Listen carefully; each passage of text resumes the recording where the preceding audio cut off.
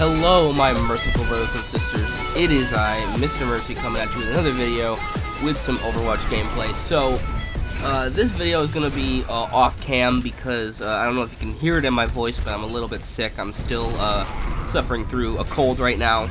But I want to get this video out uh, to talk about my experience with Season 6 of competitive play in Overwatch. Now, uh, if you guys remember recently, uh, I uploaded a video, probably, uh, I think it was like, maybe like a week or two after Season 6 started, uh, called The Sensitive Gu Player's Guide to Toxicity.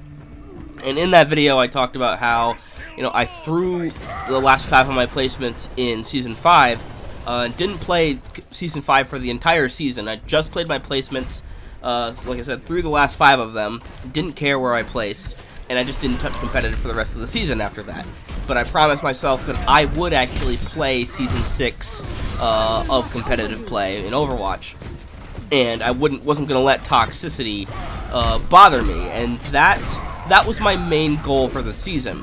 Uh, was it wasn't to reach a certain SR, it wasn't to uh, improve my aim, it wasn't to uh, have any sort of like you know, uh, improvement on the heroes. It was more uh, me just trying to learn how to deal with toxicity better and uh, not let it ruin my fun.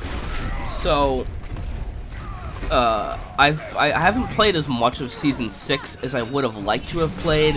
Um, I think that's mainly because uh, I was trying to find a group to play with.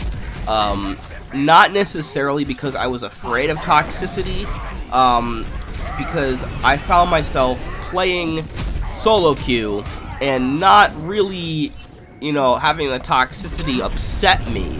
Um, what was upsetting me about about the toxicity in season six wasn't what was being said, and it wasn't hurting my feelings or anything. It was that it was tilting everyone, and everyone was playing poorly.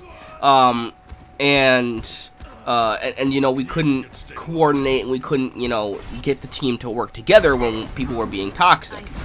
Um, which is, I think, the main uh, problem that everybody else that like that who isn't a sensitive player has with toxicity uh, in Overwatch. So I think I'm kind of at that point where um, toxicity uh, isn't as big of an issue for me. Um, and I found myself getting more upset at losing SR uh, from from these like bad games where people just wouldn't switch or uh, people, you know, were getting uh, were not working together all that well, uh, and I found myself getting more upset about the losses than I did about the actual flaming going on.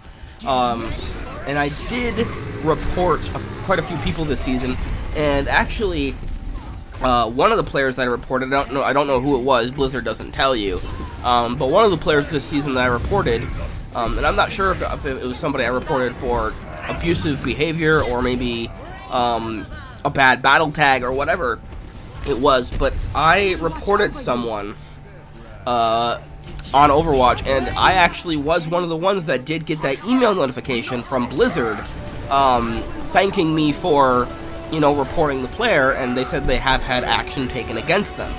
Um, now, I think that Blizzard um, should be a little bit more transparent about uh, uh, about what the punishments are are that are being handed out. Um, even if they don't tell us who is specifically banned, I do think that they should go into a little bit more detail about the punishment handed out. I think that that would help, um, you know, make the fear a little bit more real for people who are toxic.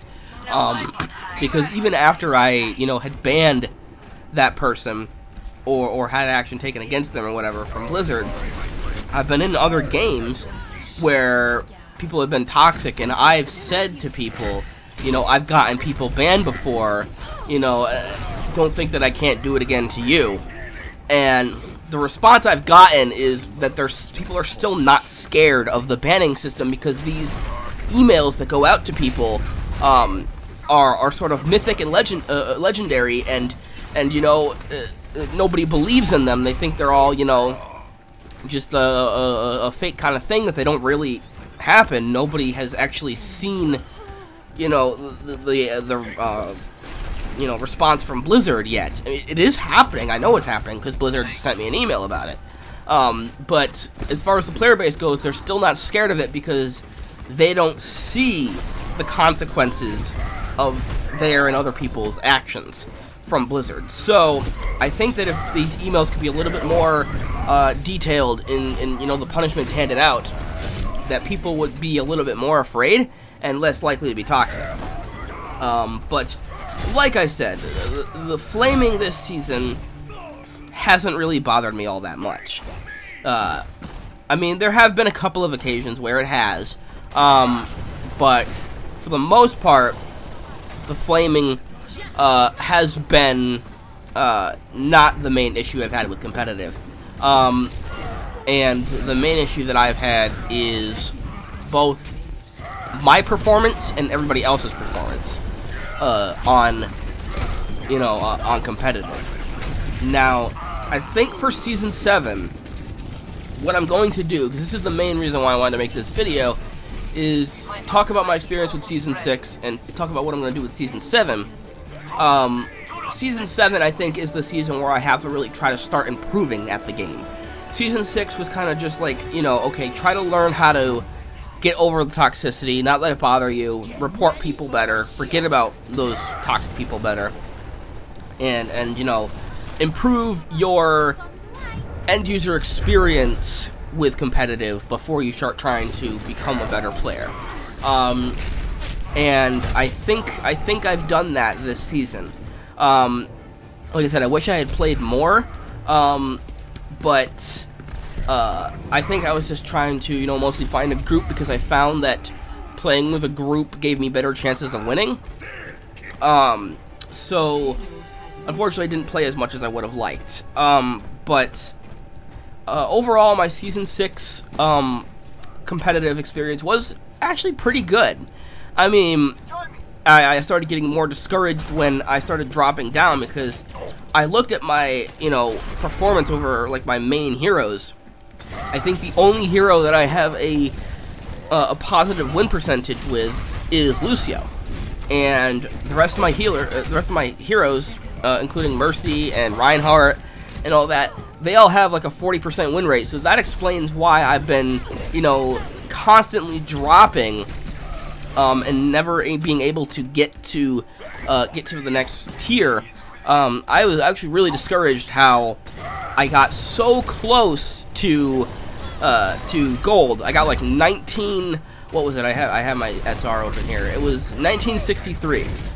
I got so close to hitting gold, and then I just started dropping down and dropping down and dropping down. And every time that I would see a little bit of hope of climbing back up again, I'd fall back down and either end up where I started or end up worse. Um, so, uh, so yeah, I did. I, my my SR wasn't all that great this season, um, but uh, but overall, in, in, terms of you know the the games that I've had, most of them were all right. Um, I, I wasn't as discouraged with this season as I have been with previous seasons. Uh, I know a lot of people have been said, oh, this is also the worst season ever. It's worse than Season 5. I don't think it is. I think that Season 5 is still the worst competitive season. Season 6 was a little bit better because I, I felt a little bit of, uh, just a little bit of fear of the toxicity, especially um, uh, in the beginning of the season. I, I felt a little bit of fear of, the, you know, the repercussions of toxic behavior um, in players. That may have diminished over the course of the season, but um, but it was certainly there in the beginning, and that led for better. That led to better matches. So um, overall, season six was all right. Season seven, like I said, is the year is the season that I'm going to try to improve. Um, I'm going to be recording VODs. I'm going to be posting them up on Overwatch University. Uh, I'm going to be um, watching guides and and um, and you know trying to practice and practice and practice and and play more. Um, and hopefully um, all that practice will lead to me uh, actually, you know, becoming a better player my my career goal, the, thing that I would like to uh, reach for my career would be uh, platinum. I feel that I'm at least a platinum level player. I can be at least a, a platinum level player um, if I'm, you know, good enough. And uh, that would be my career goal. But I think um, what I'm going to focus on for Season 7 is just trying to improve and seeing how high I can get for Season 7. Um, hitting gold would be would be a big achievement um, if I don't place there already. But um, that's really all I had to say, and I feel my, my cough drop wearing off, and I'm about to cough, so I don't want to cough on this video. So, thank you guys so much for watching. Remember, if you liked the video, leave a like. If you didn't leave a dislike, subscribe if you haven't already. And as always, I'm Mr. Mercy. Peace, everyone.